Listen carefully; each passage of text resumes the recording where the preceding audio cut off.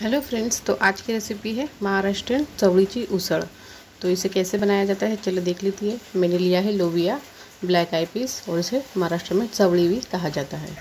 तो ये लिया है मैंने एक कटोरी और मैंने इसे अच्छे से साफ़ कर लिया है. मैंने इसे रात भर भिगो के नहीं रखा था, इसलिए मैंने इसे आठ सीटी दे करके कुकर में पका पका लिया है. तो देखिए, इतना अच्छे से सॉफ्ट पक गया है ये. और देखिए, बहुत ही अच्छे से सॉफ्ट से पक गया है. तो इसको आप अगर भूल जाते हैं रात को ना भिगो कर रखने के लिए तो इसे ऐसे भी आप पका सकते हैं। तो इससे भी सब्ज़ी बहुत ही अच्छी बन जाती है। देखिए, मैं इसे भूल गई थी रात को पकाने। तो कितना अच्छा सॉफ्ट से पक गया। तो चलिए रेसिपी आगे की देख लेते हैं। अब हम बनाएँगे मसाले। अब मैंने लिया है तीन tablespoon cooking oil cooking oil डालने के बाद उसे थोड़ा सा गर्म होने देंगे और डालेंगे हम मसाले। तो इसमें डाला है मैंने आधा इंच दालचीनी, एक तेज पत्ता थोड़ा सा कड़ी पत्ता और दो तीन हरी मिर्चें।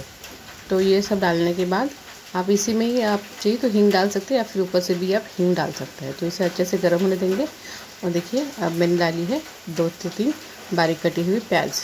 तो मैंने प्याज को ना चॉपर में ही कट कर लिया है और प्याज को अच्छे से ब्राउन गोल्डन होने तक अच्छे से पका लेना है।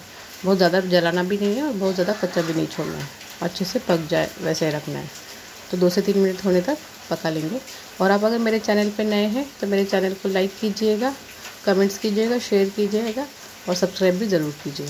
और मैंने डाला है आधा टेबल स्पून हींग, जैसे कि मैंने ऊपर से डाला है। और मैंने डाले हैं दो बारीक कटे हुए प्याज, टोमेटो। तो इसे भी अच्छे से हम गला लेंगे। देखिए, अब मेरा टमाटर जो है ना, अच्छे से अब गलने आया है। तो अब उसमें डाल देंगे मसाले। तो डालेंगे दो टेबल स्पून हम धनिया पाउडर। धनिया पाउडर डालने के बाद हम उसमें डालेंगे अब आधा टेबल स्पून जीरा और डालेंगे एक टेबल स्पून हल्दी।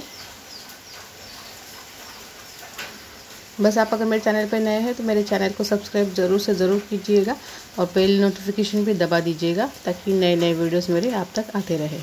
और डालेंगे अब हम आध एक टेबल स्पून लाल मिर्च पाउडर तो मैंने बड़ा टेबल स्पून ही डाला है। आप दो टेबल स्पून भी डाल सकते हैं। आपको जैसे तीखा पसंद है, आप वैसे भी बना सकते हैं। तो देखिए, बहुत ही अच्छा कलर आ रहा है निखर के। तो बस अब डालेंगे हम इसमें अब अपनी पकी हुई लोबिया, यानी पका हुआ मटकी। बस देखिए, और इसमें आप ऊपर से ग्रेट करके कोकोनट भी डाल सकते हैं, कच्चा नारियल भी आप उस ऊपर से डाल सकते हैं, लेकिन मैंने कच्चा नारियल स्किप कर दिया है। तो कुछ लोगों को कच्चा नारियल पसंद नहीं आता, इसलिए मैंने उसे भी डाला नहीं है अभी। तो देखिए बहुत अच्छे से अब ये पक जाएगा उसके ही पानी में। बस थोड़ा सा ही पानी था, इसलिए मैंने पानी निकाला नहीं, लोबिया का, और डालेंगे अब नमक स्वाद के अनुसार, क्योंकि हमने शुरुआत में नमक नहीं डाला है। अब डालेंगे हम एक थोड़ी सी कसूरी मेथी। तो कसूरी मेथी मैंने शुरुआत में ही, मैं भूल गई थी डालना तो मैंने अभी उसे डाल दिया है। तो देखिए, इसे भी डाल करके अच्छे से हम पका लेंगे, और इसे चार से पाँच मिनट तक ऐसे ही पका लेंगे इसी के पानी में। और अब डालेंगे हम एक गिलास गर्म पानी। पानी आपको हमेशा गर्म करके ही डालना होता है सब्जियों में। कुछ भी आप अगर बनाते हैं ना दालें तो उस दालों में आपको पानी गर्म ही डालना है।